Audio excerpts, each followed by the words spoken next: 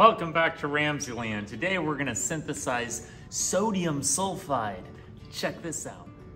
So all I'm using in this investigation is sodium that I have stored in some mineral oil, sulfur, a crucible, and a dropper for my water. I'm gonna start by adding four grams of sulfur to my crucible.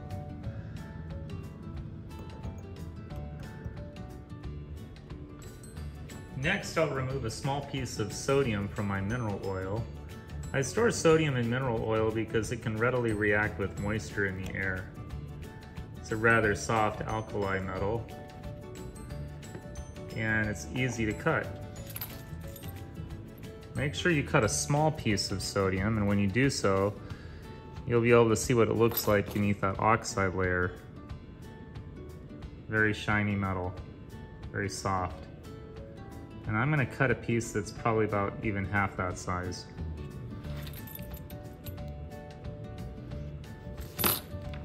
That's about right, about the size of your fingernail. I'm gonna put that right in the middle of our sulfur.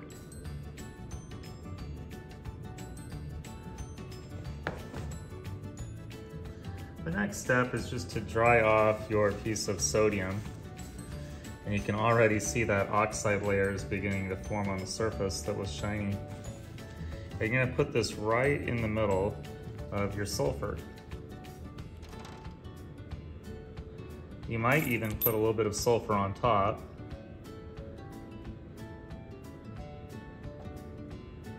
before you add your water. Okay, now you're ready to add just a drop of water onto the sodium to start the reaction. And here we go.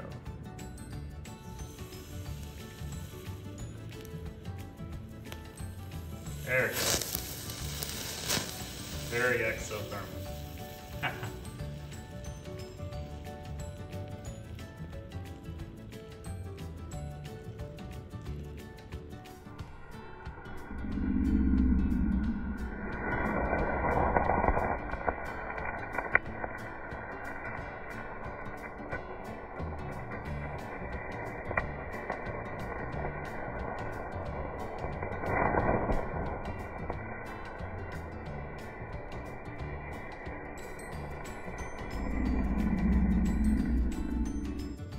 The product in this reaction is called sodium sulfide.